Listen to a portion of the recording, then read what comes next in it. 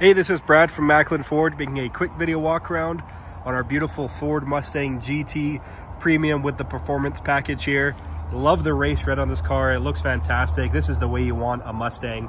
You got the upgraded 19 inch uh, performance package wheels with the Brembo brakes. They're in really good shape. Didn't see anything for curb rash on those guys. Nice 5.0 badge here on the side. I love the fastback design of these Mustangs. This rim is also in really good shape.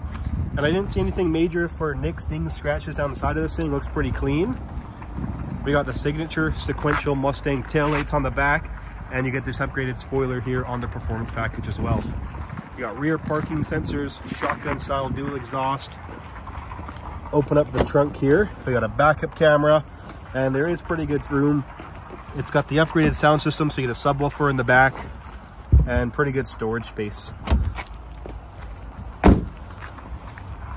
I love this angle of the car, just looks so aggressive.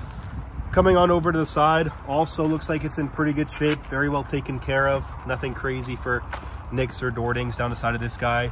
You have keyless entry, blind zone monitors here, no cracks or chips in your windshield, that all looks good.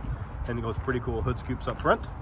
This wheel is also in good shape, and I'll double check. Yeah, this one back here, no curb rash on any of the wheels whatsoever.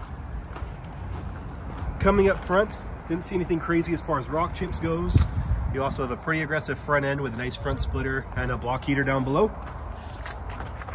Looks pretty sharp. Let's hop in.